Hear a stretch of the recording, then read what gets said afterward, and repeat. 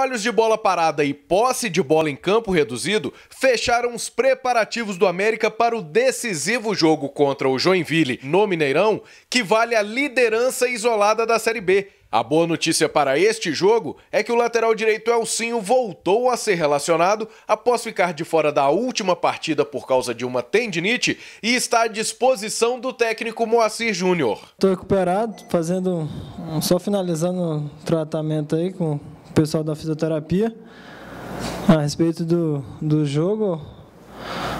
Acho que vamos, vamos ver aí antes do jogo como é que vai estar. E esperar a decisão do professor aí para ver como vai ser a equipe que vai entrar em campo. O lateral direito acredita que este jogo será um dos mais importantes desta primeira fase da competição, que será paralisada para a disputa da Copa do Mundo, devido às situações das duas equipes na tabela. Uma partida muito difícil, né? Onde duas equipes procurando a liderança do campeonato. O Joinville vem do empate fora de casa, pretende vir querer tirar ponto também aqui.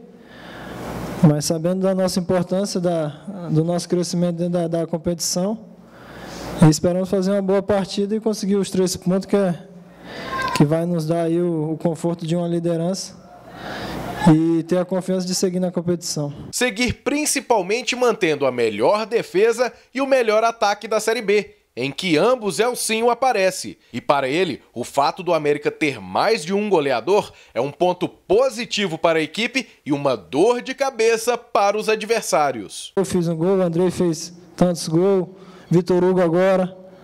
Então isso é importante e mostra a força do elenco, né? Para a equipe adversária não ter uma preocupação, ah, a América vem, mas temos que ter cuidado só com o Obina, no caso, entendeu? Eu acho que nossa equipe está qualificada, nós estamos com um pensamento positivo de, de conquistar grandezas nesse ano, que é o acesso. E dar sequência no trabalho. Né? O importante é isso, a confiança, e graças a Deus a gente estamos tendo. E para seguir invicto na Série B, Elcinho conta com o apoio da torcida, que pagará somente 10 reais para empurrar o Coelho rumo a mais uma vitória. O torcedor vai, vai com certeza vai comparecer no estádio de Copa do Mundo dentro da nossa casa, porque estamos em Belo Horizonte, então o mando de campo é nosso. E temos que botar esse fator como importância né, para o nosso lado. E imprimir o nosso ritmo de jogo, do jeito que a gente vem jogando, procurando marcar forte, saindo contra-ataque e procurar a todo momento os três pontos. Se por um lado Moacir Júnior poderá contar com Elcinho, por outro o treinador perdeu Ricardinho e André Giroto, ambos por suspensões. E uma das opções do treinador para compor essa lacuna na equipe é o volante Thiago Santos. Até agora o Moacir não definiu nada ainda, falou que até amanhã definiria o time que iria jogar, mas independente daquele que entrar, vai dar conta do recado. Vai ser a despedida antes da Copa aqui em BH. Então, se Deus quiser, vamos lá e vamos com tudo e em busca da vitória.